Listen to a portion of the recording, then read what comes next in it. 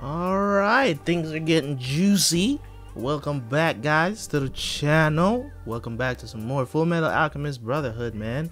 Gonna be doing two more episodes today. I'm enjoying this series, and we're in the pocket right now of all this conspiracy that is going on and finding out new stuff about the world of the alchemy and the al- alkahestry and all of these different stuff that is going on. We little by little we're finding out what's really going on. Still a little bit fuzzy on what or who, you know what I'm saying? What or who um Edward's dad is. you know what I'm saying? Um seems like he calls himself a monster and all of this other stuff like it's crazy to me and the mom knew. So is he human? Is it is he an homunculus and what happened? You know what i'm saying? Is he like the creator of everything or something of the sort? You know what i'm saying? Like what is his role in this entire story that's still yet to be seen or find out about it? So i'm not gonna hold you guys up any longer. I'm excited to jump in I will have a review after this and make sure you come back after the reaction to see it. Leave a like before you leave because you know these videos are fire, man. Stop playing with me. Stop playing with me. Let me clap my hands like a like a gangster. You know, stop playing with me. Hit that like button. Hit that like button. You know what I'm saying? Anyways, catch you guys for the review.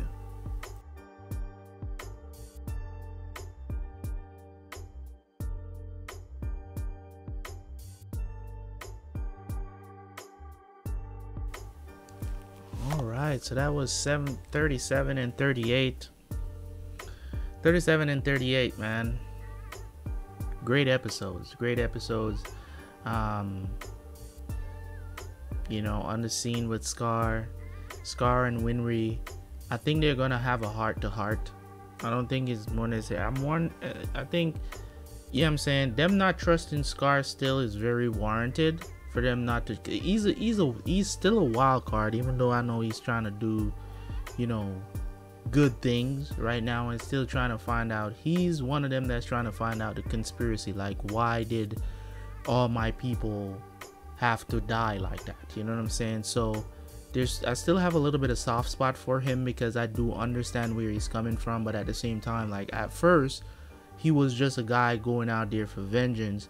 He's there's still that aspect of his character that's there because you see how he reacted to when you know he went up against um the crimson Al- alchemist you know um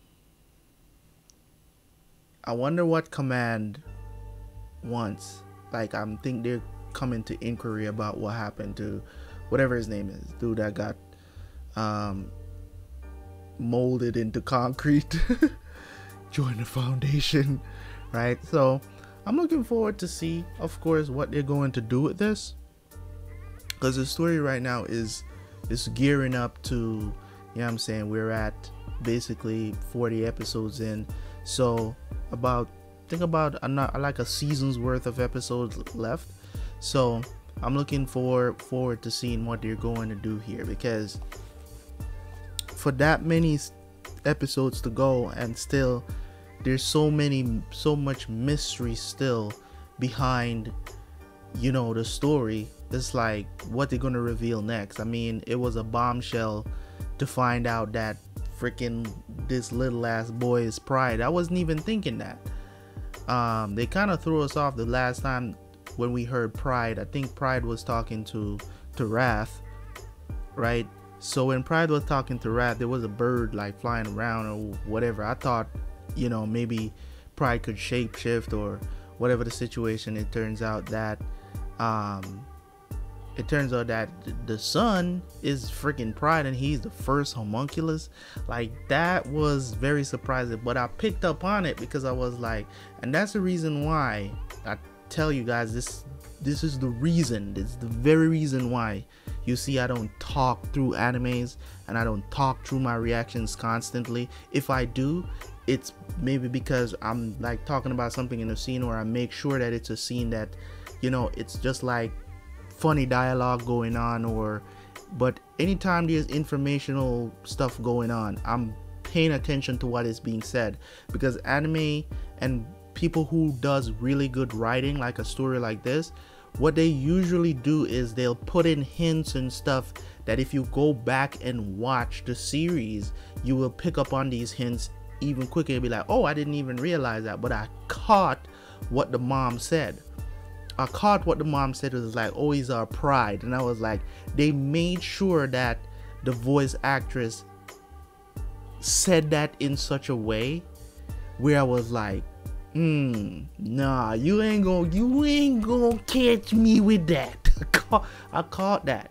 You know what I'm saying? I caught that when she said um, about pride, and I was like, ah, because and then it was foreshadowed what she said was foreshadowed by what um, hawkeye felt when when he came into the room and i was like hmm. You trying to catch me. That's why i had to i had to stop the video there because i was like yeah you're not gonna sneak that past me. You know what i'm saying? Because pride was the only one we didn't know who was pride so now we've been introduced to all the seven deadly sins. So we know we know all of them now, who they are.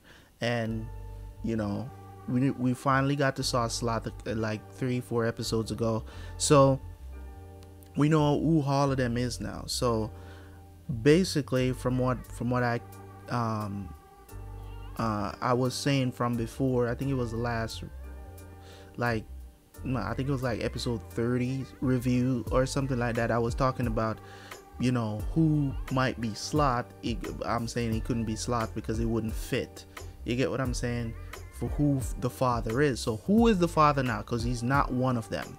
You get what I'm saying? He's not one of the the the um the seven deadly sins, namely, right? He's not one of them. So is he really the creator of the homunculus? You get what I'm saying? Um, so he created Pride first, as they say. So we'll see how things go. Um, this little kid. So I, I just don't understand. Is the kid growing? Because how long have they had? How, long have they adopted this kid? Because does. Because I mean, if he's a homunculus, he doesn't age. So um, Bradley's the only one. Wrath is the only one that ages so he doesn't age. So is he growing? Is he getting older? You know what I'm saying? How could they not notice that? How comes the mom is not noticing that this kid is not growing?